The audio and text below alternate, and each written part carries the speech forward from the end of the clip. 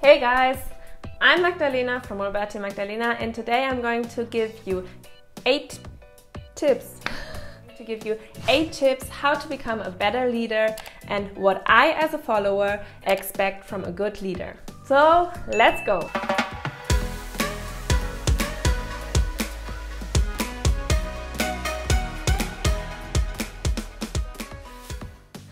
So, my first tip is start slowly.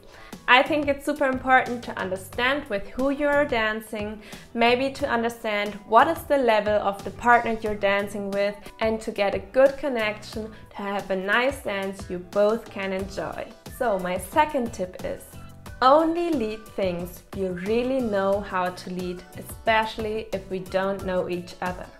If we have already danced so many times and we know each other and you know my skills, I know your skills and you want to try something new, that's totally fine. But if that is not the case, please don't try to impress by leading some super special drops. This is really not what we want and for safety reason I really recommend not to do that. This brings me to the third tip, understand the follower's situation. The follower is giving up control to the leader and you decide what the other person is going to do. So I think you should be careful with what you want the other person to do and especially to understand where the follower can go physically. Every person is different they have a different flexibility and different strength. Maybe they cannot stay down for one minute and doing isolations. So please be careful with the follower and understand where they can go and want to go with you. Four, don't touch the follower.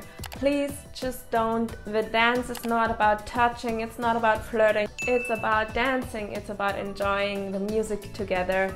In bachata, there are some figures. You lead with the face, so you touch the follower's face please don't do that with someone you don't know. I think it's just a part of being respectful on the street if you get to know someone you won't touch their face either. So the next tip is please don't stare at me. This will make me feel awkward, it will make the situation weird, I don't know. You don't need to analyze me during the dance. You will know if I enjoy or not. So don't do that, please. so let us get to the next tip. Don't teach me during the dance. You can rather repeat the figure and try if it works out the next time. Maybe I don't know the figure and the next time I will understand what I have to do. So the next tip is please give me some space to dance and make my styling. I love dancing, that's why I'm there. I, I really enjoy following, but I'm not made to follow you only.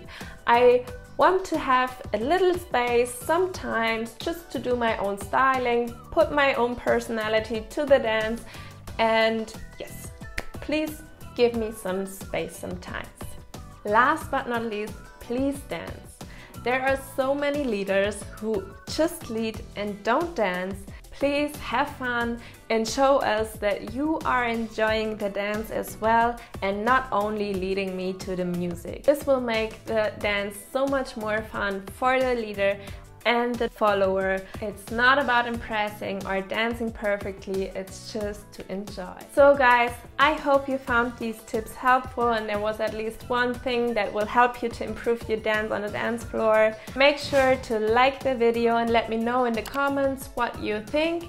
Make sure to subscribe and keep practicing. I hope to see you in the next video. Bye!